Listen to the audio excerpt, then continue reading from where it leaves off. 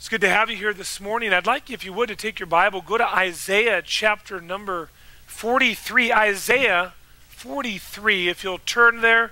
And uh, I'd like you also to notice in your bulletin there's some notes that I want to encourage you to use today as we look into the Word of God. And this particular message, which I've titled, Leaving Your Past Behind. Isaiah chapter 43. If you're a guest with us today, maybe it's your first or second or third time here, uh, you're just kind of checking us out, I want to say thank you for being with us today. I'm honored that you're here, and I trust as we look into the Word of God that you'll get a help from the message today. Isaiah 43. Let's do this. Let's read just a couple verses, and then I'd like to have a word of prayer with you. And I'd like us to together ask the Lord to meet with us and ask the Lord to use His Word to speak to our hearts and and really be a help to us in this particular area of learning to leave your past behind. Isaiah 43. Notice, if you would, verse 18. The Bible says, Remember ye not the former things, neither consider the things of old. Behold, I will do a new thing. Now it shall spring forth. Shall you not know it? It will even make a way in the wilderness and rivers in the desert. Would you read verse number 18 with me? The Bible says, read verse 18 with me. Remember ye not the former things, neither consider the things of old. Let's pray together. Heavenly Father, we thank you for this time we have to fellowship together around your word.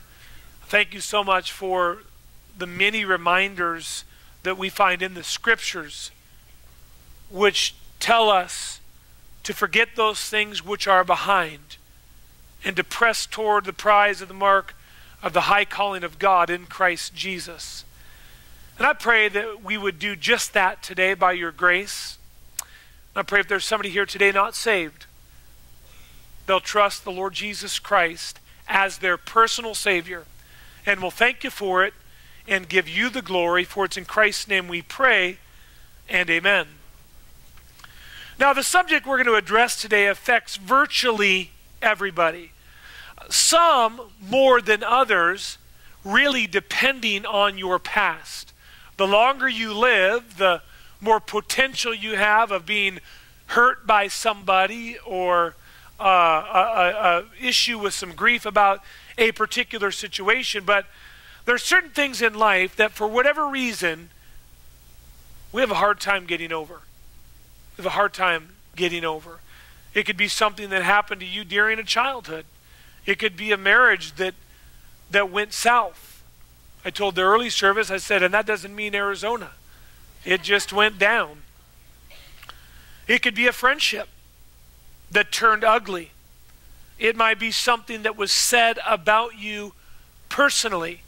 Maybe an attack on your character. Maybe an attack on your children. Whatever be the case, the Bible is crystal clear that we are to do the best we can to leave our past what? Behind.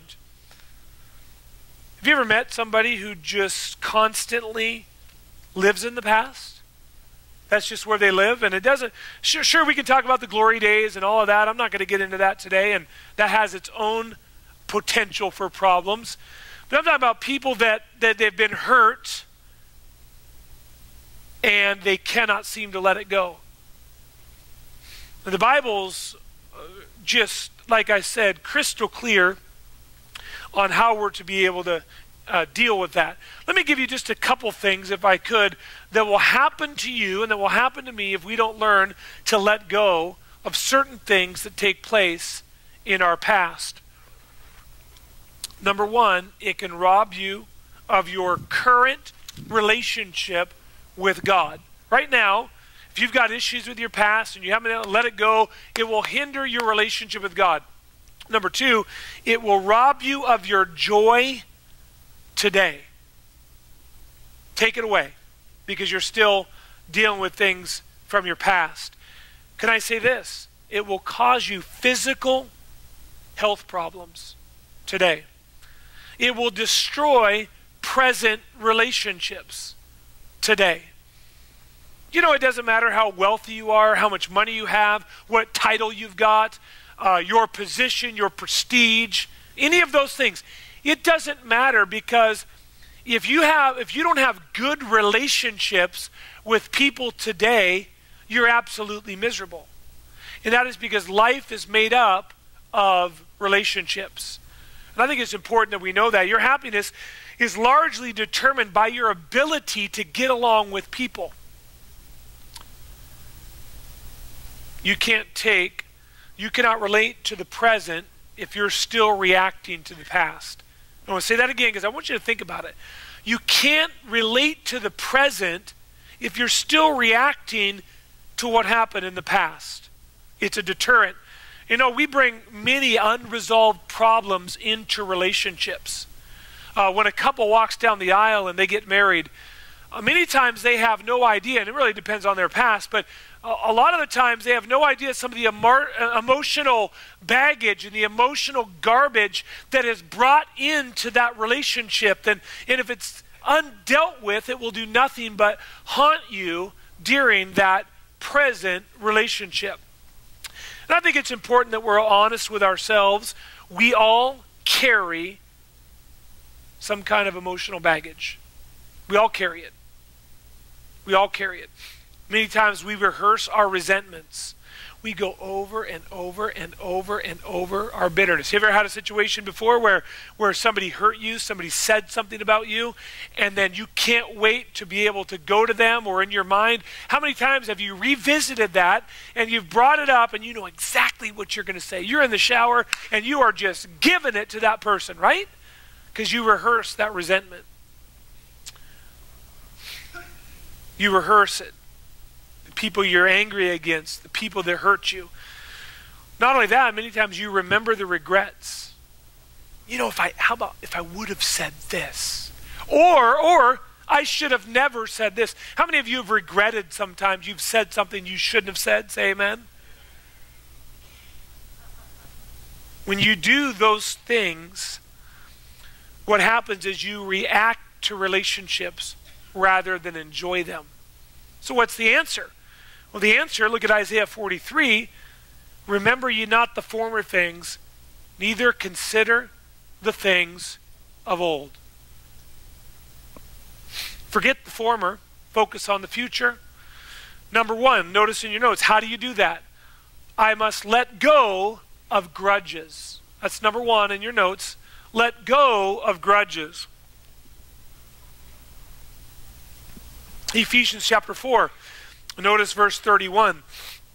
Let all bitterness and wrath and anger and clamor and evil speaking be put away from you. I want you to notice that part in the middle there that says, be put away from you. God gives you some specific things that you're to put away. And number one is bitterness. You're to put it away. But sometimes we don't. We harbor it. We have it. We hold on to it. Do you know, I think bitterness and grudges kind of go together. They're, they're on, almost synonymous, a grudge and bitterness. Well, what does the Bible say about bitterness? Well, what I did, I went to my, uh, my concordance and I did a word study just on that word bitterness. I, let me challenge you sometime, just an interesting little study. Do a study on the word bitterness. And one thing that really stood out to me was Proverbs 14:10. It says this, very simple. The heart knoweth its own bitterness. Guess what, folks? You and I know when we're bitter. We know it. We try to hide it, we try to mask it, but the heart knows its own bitterness. Did you know when a rattlesnake is cornered, sometimes it's so angry that it bites it it bites itself. And when a man harbors hatred or bitterness, he's simply poisoning himself, just like the rattlesnake that bites you. That bites itself, excuse me. Now, here's one of the problems. Don't miss this. Here's what we do we will justify to the nth degree our bitterness because, don't miss this, well, you don't understand what they said You don't understand what they did. You don't understand what happened to me. And guess what?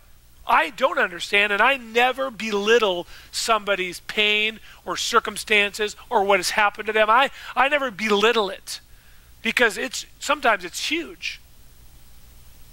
But guess what we do? I can be bitter. I can be angry. I can be resentful because of the magnitude of what they did. So we justify it. We give ourselves an exemption because of what was said or because of what happened. We're justified in our business and we in our in our bitterness. And guess what? You, you, you think that that doesn't affect other people around you. You say, well, it's just me. I'm not affecting anybody else. I'm bitter, but that's just me. But you don't understand. Your bitterness affects the relationships with everybody around you. And so there is no exemption. Now, we'll get into it a little bit. How do you deal with it? And forgiveness, as I've mentioned before, does not mean reinstatement. We'll talk about that in a minute. But I want you to consider this verse. Very simple. Listen carefully, please, about bitterness and how it affects other people. Looking diligently, Hebrews 12 15, looking diligently, lest any man fail of the grace of God, watch this, lest any root of bitterness spring up and trouble you, watch, and thereby many be defiled. I'm going to say it again. Many be defiled. How many? Many. So, so the root of bitterness, I'm just going to give an example here that, that maybe creeps up in you, that's going to affect other people around you. And sometimes it's unbeknownst to you because, you know, well, bless God, I have the right. You ever notice whenever somebody says somebody somebody says bless God, they're about to say something really stupid. Well, bless God, and you just got to watch what's next.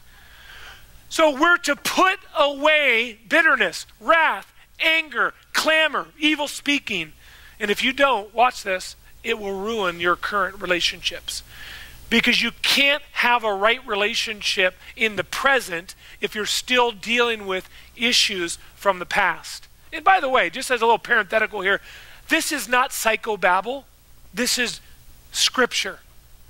Paul said, forgetting those things which are behind I press toward the mark of the prize of the high calling of God in Christ Jesus. Some of you today have not let go of past grudges and bitterness, and it's still haunting you today. Few things will cause more damage to a relationship than resentment. When you are resentful, it doesn't upset the other person. Guess what? It upsets you. You're sitting at home and you're resentful and they're out having a great time and you're frustrated and saying, I can't stand that person. and they're out just having a, a, you know, a great time. Pastor Blue tells a story. He, uh, for, I always uh, forget. I just say Pastor Blue, and a lot of people uh, new to Open Door don't know this church has had only one pastor for four decades outside of me, and he was our founding pastor. And uh, so he would always say, you know, uh, he'd tell the story. I had a situation in, in my ministry that there was a lady that said, I've got to come see you. He said, okay. And so, sure enough, uh, she comes in to see him, and he's sitting at his desk, and she's just, she is pacing back and forth behind his desk, just like this. He's like, you know, you can sit down. She says, I can't sit down. Well, what's wrong? I'm bitter. I'm mad at you. She said, I've had a horrible week. He said, I've had a great week. You know, just, just, you understand, she she was bitter and it was affecting her and not the other person pastor blue said i've had a great week. And i think you get the point. Resentment never hurts the other person. It hurts you. I think it's important that we all keep that in mind. Not only that you can be resentful but it will never change the past no matter how bitter, how resentful, how frustrated you are, it isn't going to change what happened in the past. You can't go back and uh, redo it. So why live today like a masochist and just not enjoy life because of something that happened to you in the past? Isaiah says, forgetting the former things. You got to let it go. You have to put it behind you. It never, resol- it never resolves the problem, it only makes things worse. No matter how much you resent, it will never change the past. I want to say this too, just as a side note, it's very controlling. Very controlling. Uh, when somebody says, you know, you make me so mad, you're admitting your weakness. You make me so mad. There can, you know, nobody can make you mad. You have to allow them to make you mad. But guess what? I do it all the time. you made me so mad. This will shock you, but Mary and I had a disagreement recently. We've never had an argument in 22 years, but we've had some disagreements. What helped me is when Pastor Blue said when they first got married, you know, the I don't know, it was like the couch and something else ended up on the front yard. It's like, man, there's hope. So so we had a disagreement and and I said I'm very disconcerted about this situation. Basically, I'm mad. Nobody can make you mad without your permission. You're allowing them to make you mad. Everyone has had situations in the past that hurt them. You know that? Everybody has. And again, the longer you live, the more potential for that. But some of you are continuing to allow people from the past to control you even in the present, though they're not even around anymore. You're still allowing it. So, what's God's advice? Forgetting those things which are behind, putting away bitterness, Who are you holding a grudge against?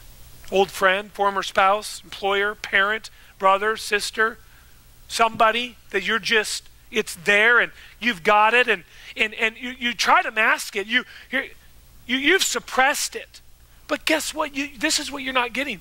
When God says that root of bitterness that springs up, it will defile you. You can suppress it, and it will cause you physical health problems if you do not learn to deal with it the right way. Many people are still fighting their parents subconsciously of what happened to them in their childhood. Still there. Listen, you've moved, but you kept the hurt. So what are you going to do? Well, the answer is in Isaiah 43. Remember not the former things. In Philippians 3, forgetting those things which are what? Behind. It's not fair when many times people will take it out on their husband or their wife or their children because of what happened to them in the past. So again, the answer is give it to God. Now watch this. The end of it's in your notes. It's in your notes. I want to show you something real quick. This is the answer. Thank you, Elijah.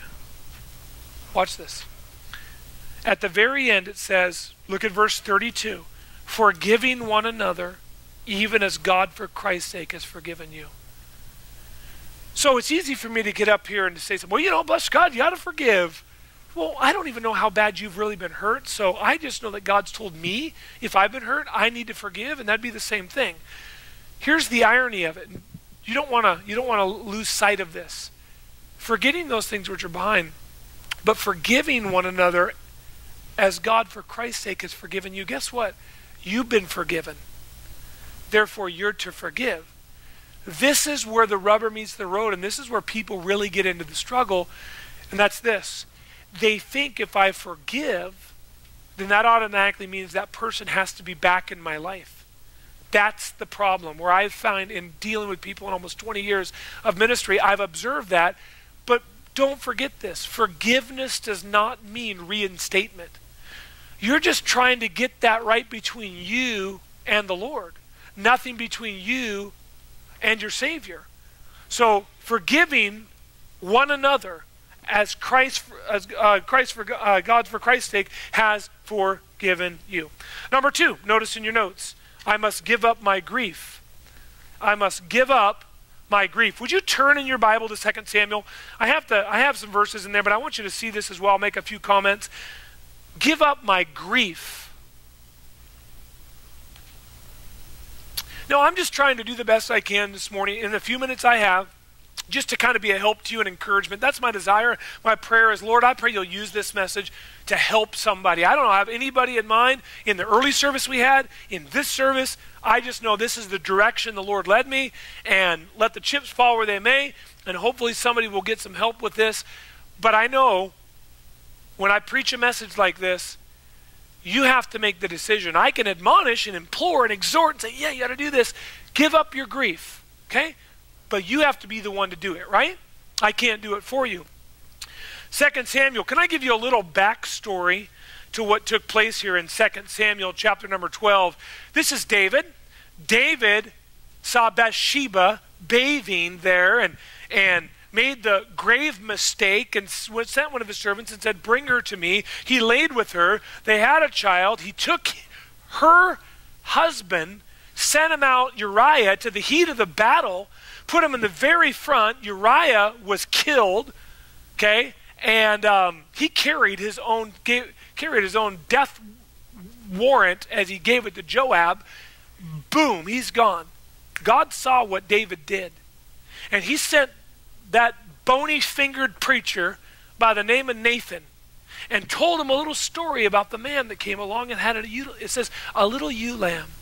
And he says to him, he says, you know, he came along and he had this little ewe man, and David's looking at him, he's like, yeah, and he says, he laid with him. He was a poor man. That's all he had. It was it was his. It was his own precious little thing, and he he did everything with it. And a rich man came along who had a bunch of lambs and said, Take that one little ewe lamb, and I want you to kill it and give it to this such and such, and let's make a feast. God saw what took place, and Nathan, and David looked at Nathan and said, Whoever did that, David said, he's going to be judged. And guess what? That bony fingered preacher stuck his finger in David's face and said, Thou art the man, because you took Bathsheba. That was the picture of the little lamb. That's all he had. Guess what?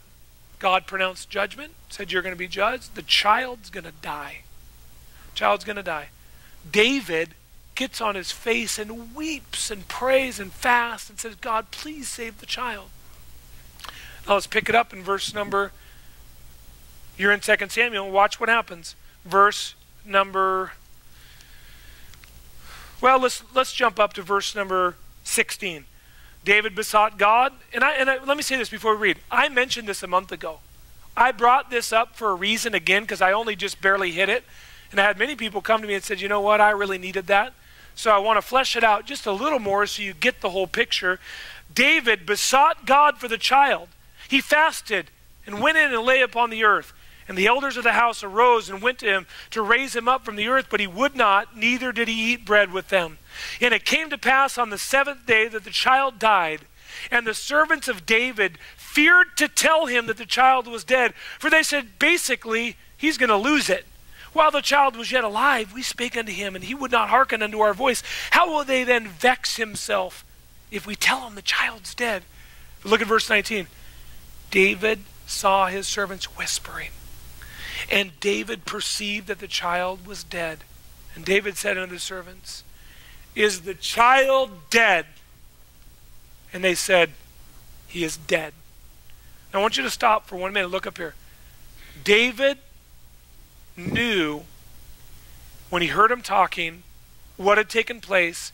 He'd been mourning, he'd been praying, he'd been fasting, he hadn't eaten. Look at verse 20. Once he found out, David arose from the earth and washed and anointed himself, changed his apparel, went into the house of the Lord and worshiped. David went to church. He came to his own house and required that they set bread before him. So basically, he eat, he uh, started eating, and so on and so on. Let's be honest. Grief is a normal part of life. Everybody eventually experiences loss. When my mom passed away, I was telling Mrs. Knowles this morning after the first service, when my mom passed away, I dealt with a grief that I'd never dealt with before, and I was struggling. Now I mourned over the loss of my mother. But I don't still live there. Doesn't mean I don't still miss her. Doesn't mean that sometimes I don't think about her and you have some emotions. But I want you to understand this. There's nothing wrong with mourning. Does the Bible say, Blessed are they that mourn? But there is a difference between mourning and moaning. You get that? Moaning is self pity. We're pretty good. Sometimes when I'm having a pity party, I got streamers, I got the whole thing as I'm wallowing, and it's a very self centered thing to do. Wallowing, woe is me. I quit. I'll never be happy again. I've lost it all. Listen, you don't have you haven't lost it all. You're still here. And we do it, it's part of what we do. May I say this? That's not the answer. How do you handle grief? Look at verse 20, and we'll kind of get ready to move on. David arose from the earth. I told you the backstory, told you what happened. You know what David did? He accepted what could not be changed. We see here David accepted the circumstances. Many of you are in pain now from events that happened years ago. Years ago. And the key to your peace of mind is one word that's acceptance, letting go of the grief, downplaying the grief, don't make it bigger than it is. Child died. David arose from the earth, washed himself, and so on. And guess what he did? He got, took a shower, got dressed, had a meal, went to church, and said, They said, Well, you were mourning, David. What's going on? He said, Listen, the child died. I can't bring him back again. Verse 22 says, He says this He died. I'm not going to go to him. I, he's not going to come back to me, but I will go to him and I will see him again. That's what David says. People ask, Are we going to see our loved ones in heaven? I believe the answer to that is yes. So, focusing on, you know, uh, that, just like in Isaiah, Isaiah 6, the Bible says this. Isaiah says, In the year that King Uzziah died, I saw the Lord high and lifted up. He saw the Lord. Sometimes God has to remind us that He's bigger than our circumstances. And he wants us to get our eyes off our circumstances and our eyes on him. Not always easy to do, but we need to. And I'll tell you one last thing David did, and one thing that you and I both need to do in times like this. David did not focus on what was lost, he focused on what he still had. And can I say this? You know what we need to do in times of grief, in times of loss, in times of mourning, in times of we need to not look at what we lost. Why don't we take a look at what we still have? Praise God. You say, well, what do I have? You have your life. If you're saved, you have the Holy Spirit living and dwelling in you. You have the Bible. You have a local church. You have your friends. You have your health. You have this. You have that. You have so much to be thankful for. But some people, it doesn't matter. You can remind them a million times and it won't make any difference because they were weaned on a dill pickle and they're just negative. You ever met anybody like that? They're just, it doesn't matter what you do, it's always negative. Okay, you don't even want to ask them how they're doing because you're afraid they'll tell you. You met somebody like that? So, how, hey, good to see you. Yeah, praise God. Good. Yeah, praise the Lord. Yep, hasta luego. You know, and just, you're scared. Self pity has the potential of being much more damaging to your life than tragedy, any tragedy you'll ever face, because self pity perpetuates the pain. See, the loss is gone. You, David got up, he arose, and he moved on. But self pity perpetuates the pain. And we have to be very careful along those lines. Thirdly, and lastly, I'd like you to notice uh, Proverbs 10. It's in your notes. You can turn there if you'd like. I must stop living in guilt. I must stop living in guilt. Proverbs 10 and verse 22, the Bible says this The blessing of the Lord maketh rich. And he addeth, I love it, I love it, I love it, no sorrow with it. That's one of my favorite verses. The blessing of the Lord maketh rich. So who's the, help me out? Who's the blessing from? The Lord. He maketh it, and he adds no sorrow with it. Do you know what? Some of you are here this morning, some were in the early service. You have worked your whole life. Brother Jones and I were talking yesterday. He was in my office. We had a great conversation. And he's worked hard in the military and served our country, and now working for the uh, school and as a counselor and has just been a help, and obviously in his local church. And we're just talking about life. And as we were talking, I started thinking, you know, you've worked really hard, and God's blessed you. Do you know what? If you're here this morning and you've worked really hard, and, and you maybe you, you've got something or you, you got a home or you have something nice, you don't need to sit there and live in guilt because you have something nice. It's a blessing of the Lord, and He adds no sorrow with it. Guess what? We add the sorrow. We, you know, we feel sometimes so undeserving, and I know we are undeserving, But if God's blessed you, why don't you just say, Praise God, Amen, shame on the devil, and enjoy it? But, and, and I'm preaching partially to myself because I'm like a masochist. You know, I don't know. I, I said in the early service, I think I'd make, I would have made a good Catholic. I don't know why. I just, you know, I just, I don't know. Listen, we have liberty in Christ. We don't need to, we're not going to make ourselves accepted in the beloved. We are accepted in the beloved. Period. I preached on Ruth last week, and Ruth, yeah, yeah, Ruth, sorry, Ruth, Rahab. And there's Rahab. She had nothing to commend herself to the Lord. She was a Gentile. She was an idol worshiper. She, uh, um, she was a, a harlot. She had nothing to commend herself to the Lord. But guess what? God showed up, intervened in her life, blessed her, saved her whole family, and she ended up in the ancestry of the Lord Jesus Christ. So don't feel guilty for just living. Don't feel guilty. Um, we, uh, my wife and I were talking. My kids went to camp uh, to help out in the junior camp last week or the week before, and and uh, I said, honey, I said, the kids are gone. I said, what do you want to do?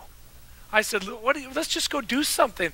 And she said, well, I, you know, I'd really like to get to the office, and I'd really like to get caught up, and I've got this to do. And I, let's work. And she, I was working in the yard. She had me working in the yard, and she loves to work. That is her joy, to work.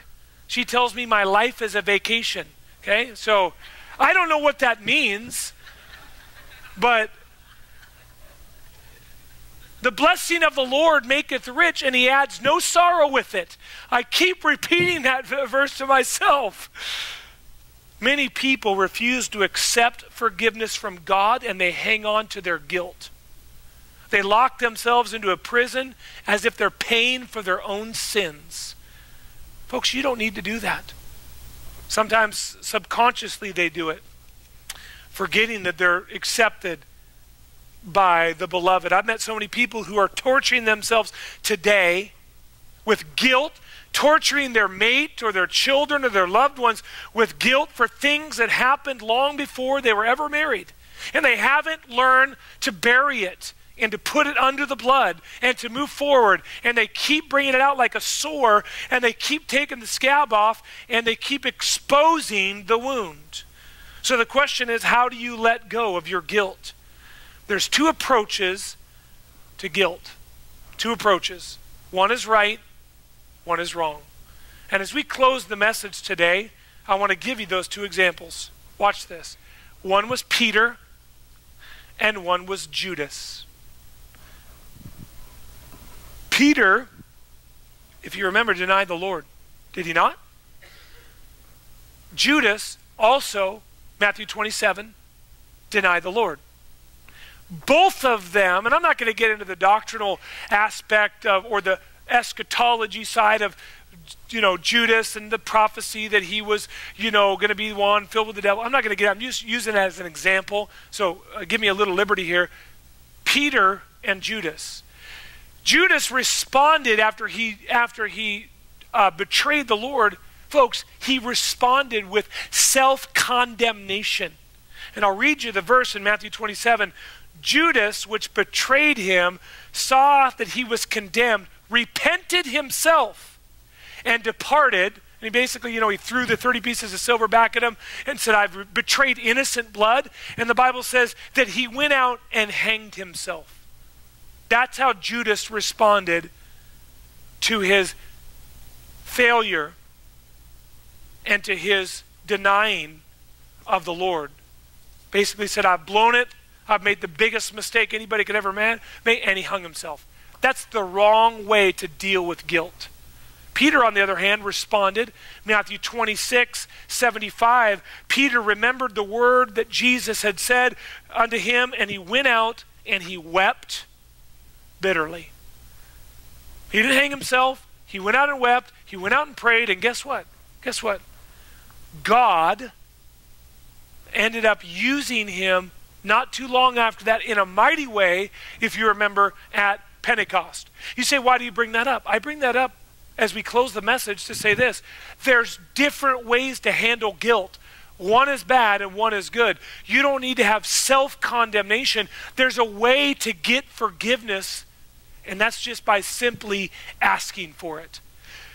You don't need to sit there and beg God, please forgive me. I beseech you. I implore you. Would you forgive me? He says, if we confess our sins, He's faithful and just to forgive us our sins and to cleanse us from all unrighteousness. Uh, Lord, if you forgive me, I, I'll never do it again. Yes, you will. Why don't we just be honest with ourselves? Lord, if you forgive me, I'll start, I'll add, I'll take on another missionary and, and help Brother Roberts and I'll start tithing. Why? You don't need to make a foxhole prayer to God.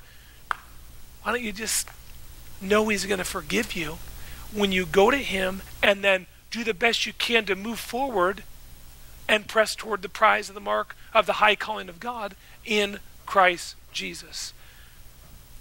How is it with you today? Be honest with yourself. Be honest with yourself. How are you handling grudges? How are you handling grief? How are you dealing with guilt? How are you dealing with it? Well, today I wanted to just bring a message that hopefully just kind of resonates with you in a way that you, you start to make some decisions so you don't live in misery today because of what happened in the past, forgetting those things which are behind. Let's pray.